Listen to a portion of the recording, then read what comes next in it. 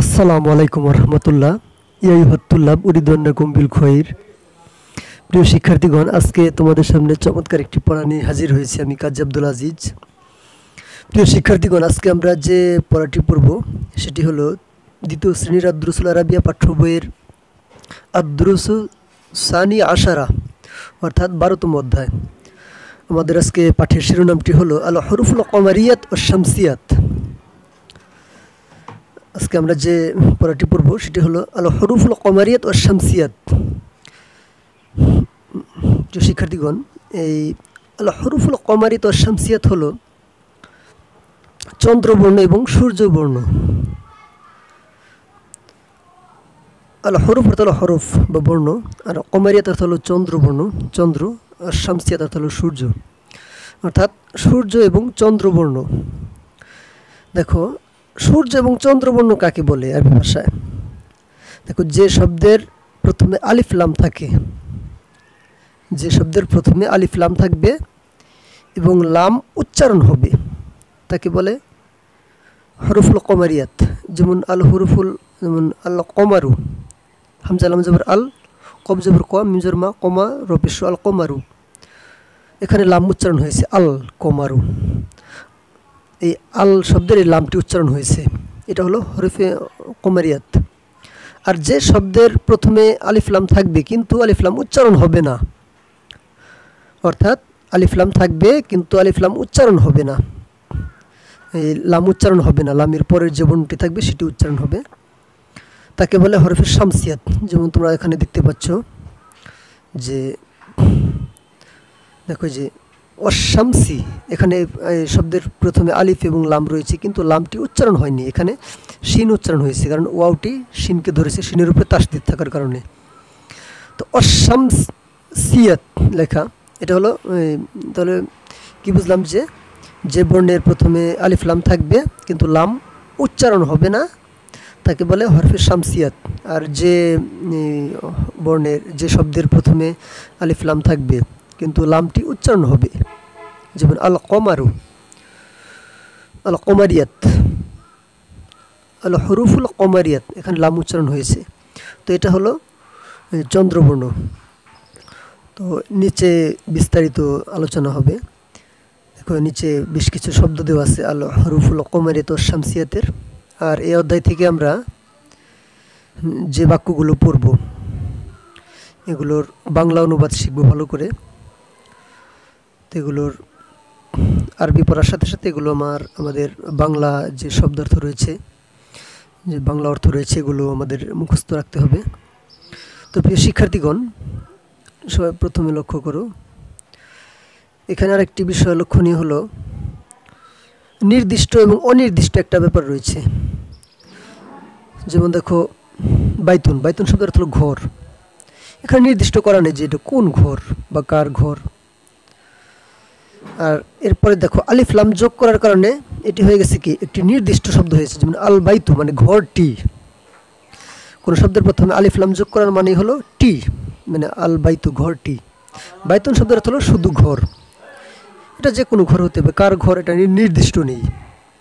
আর যখন বলা হবে যে আল বাইতু অর্থাৎ ঘরটি, তখন একটা নির্দিষ্ট একটা ঘরের কথা বলা হচ্ছে এখানে, ইঙ্গিত করা হচ্ছে। আবার এরপরে দেখো আরেকটি শব্দ আছে, যেমন কিতাবন। কিতাবন শব্দের অর্থ হলো বই। এটা অনির্দিষ্ট একটা শব্দ, যে কোনো বই হতে পারে। যখনই বলা হবে যে আল কিতাবু অর্থাৎ বইটি। দেখো, এই যেটা নির্দিষ্ট নির্দিষ্ট করা হয়েছে, যেমন আল বাইতু এটা নির্দিষ্ট। এটাকে বলা হলো মারিফা। আর যেটা অনির্দিষ্ট কোনো শব্দ, তাকে বলে নাকিরা। যে শব্দগুলো নির্দিষ্ট, তাকে বলে মারিফা। এই মারিফা শব্দ। আর যে শব্দগুলো অনির্দিষ্ট, তাকে বলে নাকিরা। দেখো নাকেরা শব্দের গোল এই হয়, এই যে শেষে দুইটি পেশ হয়, যেমন বাইতুন, কিন্তু এখানে আছে কি আল বাইতু এখানে আছে বাইতুন, কিন্তু এখানে আছে আল বাইতু যখনই নির্দিষ্ট করা হবে, অর্থাৎ আলিফ লাম যোগ করা হবে কোনো শব্দের, তখন শেষ বর্ণে দুইটি পেশ দেওয়া যাবে না, তখন দিতে হবে একটি পেশ। বাইতুন থেকে আল বাইতু কিতাবুন থেকে আল কিতাবু তো এগুলো তোমরা মনে রাখবে যে যখনই আলিফলাম যোগ করা হবে, তখনই এখানে দুইটি পেশের বদলে একটি পেশ হবে। দুটি পেশ হবে না দুটি পেশ দেওয়া যাবে না। এটা একটা, এই ব্যাকরণগত নিয়ম। তো এখানে বেশ কিছু শব্দ দেওয়া আছে হরফে কামারিত শামসিয়াতের। তো আমরা এগুলোর বাংলা অর্থগুলো পড়ব ইনশাল্লাহ প্রিয় শিক্ষার্থীগণ, লক্ষ্য করো, এখানে দেখা যাচ্ছে একটি ভাঙা কলমের ছবি, একটি দরজার ছবি। দেখো কলমটি ভাঙা। এই এখানে আরবি দেওয়া আছে আল কলামু মাকসুরুন অর্থাৎ কলমটি ভাঙা। আল কলামু কলমটি মাকসুরুন ভাঙা। যদি দেখে দিতাম যেখানে কলামুন মাকসুরুন কলম ভাঙা তো এটা হতো না। এটা যেহেতু আমরা একটি বাক্য যোগ করব, যেটা নির্দিষ্ট কলমের কথা বলা হয়েছে যে এই কলমটাই ভাঙা। এটা নির্দিষ্ট একটা কলমের কথা বলা হচ্ছে। এর জন্য হয়েছে কি? আল কলামু মানে কলমটি মাকসুরুন ভাঙা। এরপরে আল বাবু দরজাটি মাফতুহুন খোলা। আল বাবু অর্থাৎ দরজাটি মাফতুহুন খোলা। আর বাবুন অর্থ শুধু দরজা। আর যখন হয়েছে আল বাবু তখন হলো দরজাটি। তো দেখো, এরপরে আরও কিছু শব্দ আছে এখানে। একটি বালকের ছবি, শিশুর ছবি দেখা যাচ্ছে। শিশু আরবি অবশ্য হলো তিফলুন, আর এখানে অলাদুন আছে। অলাদুন শব্দের অর্থ হলো বালক। এটা একটা বালক। আল অলাদু অর্থাৎ বালকটি, জালিসুন বসা। আল অলাদু জালিসুন, বালকটি বসা। এরপরে আল মোদার রিসু শিক্ষকটি, ওয়াকিফুন, দণ্ডায়মান বা দাঁড়ানো। শিক্ষকটি দাঁড়ানো। যদি এখানে ছবিতে বসা আছে, কিন্তু এটা হবে ওয়াকিফুন অর্থ দাঁড়ানো বা দণ্ডায়মান। আল মুদার রিসু শিক্ষকটি, ওয়াকিফুন, দাঁড়ানো। এরপরে দেখো আরও শব্দ দেওয়া আছে। আল কিতাবু অর্থাৎ বইটি। কিতাবুন অর্থ বই, কিন্তু আল কিতাবু অর্থ বইটি জাদিদুন, নতুন। আল কিতাবু জাদিদুন, বইটি নতুন। কলামুন অর্থ কলম, কিন্তু এখানে কি? আল কলামু, কলমটি কদিমুন, পুরাতন। কলমটি পুরাতন। আল কলামু কদিমুন, কলমটি পুরাতন। এরপরে লক্ষ্য করো, প্রিয় শিক্ষার্থীগণ, এখানে দেখো, গাধার ছবি দেওয়া আছে, ঘোড়ার ছবি দেওয়া আছে, তারপর একটি চেয়ারের ছবি। দেখো এই গাধা আরবি হলো হেমারুন। তো গাধাটি ছোট, এটা আরবি কী হবে? আল হেমারু সগিরুন। গাধাটি ছোট, এরপরে ঘোড়াটি বড়। আল হেসানু কাবিরুন, ঘোড়াটি বড়। দেখো, এই শব্দের প্রথমে আলিফলাম নেই, এই দুটি শব্দের প্রথমে আলিফলাম নেই এই জন্য শেষে দুটি পেশ। আলিফলাম হওয়ার কারণে এই দুটি শেষে দেখো যে একটি পেশ, এখানে দুইটি পেশ নেই। তো এগুলো লক্ষ্য রাখবে। এরপরে দেখো চেয়ার আল কুরসিউ মাকসুরুন, অর্থাৎ চেয়ারটি ভাঙা আল কুরসিউ মাকসুরুন, চেয়ারটি ভাঙা, এরপরে আল মাউ বারিদুন ঠান্ডা পানি আল মাউ বারিদুন অর্থাৎ ঠান্ডা পানি, পানিটি ঠান্ডা। এরপরে হলো চাঁদের ছবি। আল কমারু জামিলুন আল কমারু জামিলুন অর্থ চাঁদটি সুন্দর আল কমারু জামিলুন, চাঁদটি সুন্দর। আল বাইতু করিবুন ঘরটি বা বাড়িটি নিকটে বা কাছে। এরপরে মসজিদ, মসজিদটি যে দূরে রয়েছে, অনেক দূরে দেখা যাচ্ছে। এই দূরে আরবি হলো বাইদুন। আল মসজিদু বাইদুন। মসজিদটি দূরে। আল হাজারু সাকাইলুন পাথরটি ভারী। আল হাজারু সাকাইলুন পাথরটি ভারী। এরপরে দেখা যাচ্ছে, দেখো আরও শব্দ আছে দুটি। এটা হলো আল অরাকু হফিফুন অর্থাৎ পাতাটি হালকা, আল ওরাকু অর্থ পাতাটি। হফিফুন অর্থ হালকা, আল ওরাকু হফিফুন পাতাটি হালকা। এরপরে আল কমিসু নাজিফুন জামাটি পরিষ্কার, নাজিফুন অর্থ পরিষ্কার, পরিচ্ছন্ন। আল কমিসু নাজিফুন, জামাটি পরিষ্কার। তো প্রিয় শিক্ষার্থীগণ, এখানে দেখো এই বেশ কিছু যে উদাহরণ রয়েছে হরফে অকমারিত শামসিয়াতের। এখানে হলো যে, এগুলো হলো হরফে শামসিয়াতের উদাহরণ। দেখুন, নাজমুন যখন তুমি আলিফলাম যোগ করবে নাজমুন অর্থ তারকার যখন বলবে যে তারকাটি, তখন বলতে হবে আন্নাজমু আলিফলাম যোগ করতে হবে। নাজমুন অর্থ তারকা আন নাজমু অর্থ তারকাটি। রজুলুন, একজন লোক, আর রজুলু লোকটি। এরপরে দিকুন মোরক, আর দিকু মোরকটি, তলিবুন ছাত্র, আর তলিবু ছাত্রটি। এগুলো হলো হরফের শামসিয়াত। এই হরফের শামসিয়াত কিছু হরফ আছে, হরফের শামসিয়াতের। নিচে দেওয়া আছে, দেখো। হরফে কমারিত এবং শামসিয়াত, যেমন আলিফ লামের পরে। কোনো শব্দের আলিফ লামের পরে যদি এই হরফগুলো থাকে, আলিফ, বা, জিম, হা খ আইন গোইন ফা কপ কাপ, মিম, ওয়াও, হাইয়ে, তবে সে সেটা হলো হরফুল কমারিয়াত, অর্থাৎ লাম উচ্চারণ হবে। যদি জের জবর নাও থাকে, তোমরা বুঝতে পারবে যেখানে লাম উচ্চারণ করতে হবে, এটা লাম উচ্চারণ করতে হবে না।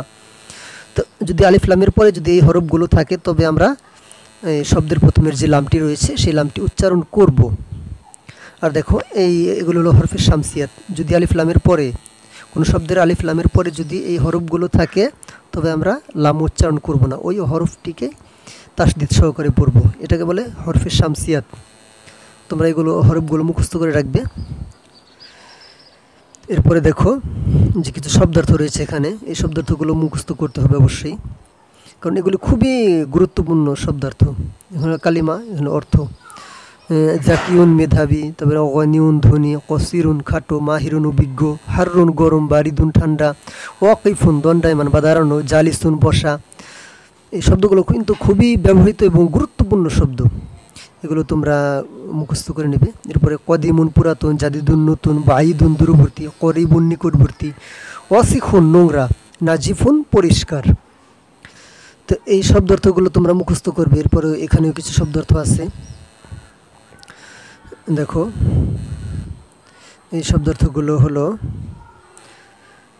কাবিরুন বড়, সগিরুন ছোট, সাকিলুন ভারী হফিফুন হালকা, আল মাউ পানি, আল অরাকু কাগজ, জামিলুন সুন্দর আর তুফাহু আপেল। এরপরে হুল উন মিষ্টি আর দোকানু দোকান। দেখো এরপরে এই শূন্য স্থানগুলো পড়তে হবে। দেখো শূন্যস্থানের প্রথমে আছে আল্লাহ, এখানে কিছু শব্দ আছে। এই শব্দগুলো নিয়ে আমরা শূন্যস্থানে বসাবো, পূরণ করব। যেমন আল হাজারু পাথরটি। পাথরটি কি হবে? সাকিলুন, ভারী। এখানে এই সাকিলুন শব্দটি হবে, এইখানে। এক নম্বরের উত্তর আল সাকিলুন, পাথরটি ভারী। এরপরে আল বাবু মাফতুহুন এইটি হবে। মাফতুহুন, খোলা। মানে দরজাটি খোলা। এরপরে আল কমারু অর্থাৎ চাঁদটি। এটা হবে মুনিরুন, আলোকিত। মুনির অর্থ আলোকিত। হুম। আল কমারু মুনিরুন চাঁদটি আলোকিত। এরপরে আছে আল ওরাকু। দেখতে পাচ্ছ যে আল ওরাকু। আল ওরাকু অর্থাৎ কাগজটি খফিফুন হালকা, অর্থাৎ চার নম্বরের উত্তর হবে আল খফিফুন হালকা। এরপর দেখো আলমিন দিলু এরপরে আছে আলমিন দিলু আলমিন দিলু অর্থাৎ রুমালটি অশিখুন নোংরা। অশিখুন অর্থ নোংরা আলমিন দিলুন অর্থ রুমালটি রুমালটি নোংরা। তো প্রিয় শিক্ষার্থীগণ, তোমরা এই শূন্যস্থানগুলো পড়ে নেবে এবং এই অধ্যায়ে আরেকটি শূন্যস্থান রয়েছে, গুরুত্বপূর্ণ, এটাও পড়তে হবে। দেখো, এগুলো তোমাদের উপরে ওটার যেমন দেওয়া আছে, এটা উপরে দেওয়া নেই কোনো শব্দ দেওয়া নেই, এটা আমাদের মুখস্থ লিখতে হবে। দেখো মাকসুরুন। কি মাকসুরুন? এর মতন তোমরা এখানে লিখবে আল কলামু অর্থাৎ কলমটি ভাঙা। এরপরে ঢ্যাস করিবুন। কি করিবুন? এখানে হলো আল বাইতু করিবুন। অর্থাৎ ঘরটি নিকটে বা বাড়িটি নিকটে আল বাইতু হবে এখানে। এরপরে ঢ্যাস ওয়াকিফুন। কে দাঁড়ানো আছে? শিক্ষকটি, আমরা পূর্বে পড়েছি, শিক্ষকটি দাঁড়ানো। এখানে আল মুদারিসু ওয়াকিফুন। তোমরা ওই অধ্যায়ের ওই বাক্যগুলো দেখে দেখে এখানে লিখবে। ওখান থেকে শব্দ নিয়ে এখানে পূরণ করবে। আল মুদারিসু ওয়াকিফুন, শিক্ষকটি দাঁড়ানো। এরপরে হলো ঢ্যাস কাবিরুন, কি বড়? আল হাজারু কাবিরুন, পাথরটি বড়। ট্যাস পুরাতন, এটা আল কিতাবু কদিমুন, বইটি পুরাতন। তো এমন শব্দ এখানে দিতে হবে, যা অর্থের সাথে সামঞ্জস্যপূর্ণ মানে এগুলো একটা বাক্য হয়। এখানে যদি তুমি দাও যে আল অলাদু ওয়াকিফুন, তাও হবে যে বালকটি দাঁড়ানো, তাও হবে। যদি বলো যে আল কলামু কাবিরুন, কলমটি বড়, তাও হবে। যদি বলো যে মসজিদটি কাছে, আল মসজিদু কাবির করিবুন মসজিদটি নিকটে, তাও হবে। অর্থাৎ অর্থ করতে হবে মানে এটা যেটার, এই বাক্যটির যেন একটি ভালো অর্থ হয়। তো এগুলো তোমরা পড়ে নেবে অধ্যায়ের। এই শব্দের শেষে যে হরকত যেগুলো আমরা পূর্বেই পড়েছি, যে সবে প্রথমে আলিফলাম হলে শব্দের শেষে একটি পেশ হবে। যেমন এখানে আছে মাহিরুন, যদি আমরা এখানে আলিফলাম যোগ করি, তবে এখানে হবে আল মাহিরু এখানে দুই পেশ হবে না, হবে এক পেশ। তো এগুলো তোমরা এই বুঝে বুঝে এগুলো লিখবে। তো প্রিয় শিক্ষার্থীগণ, আজকের মতো এই পর্যন্তই। আসসালামু আলাইকুম রহমতুল্লাহ।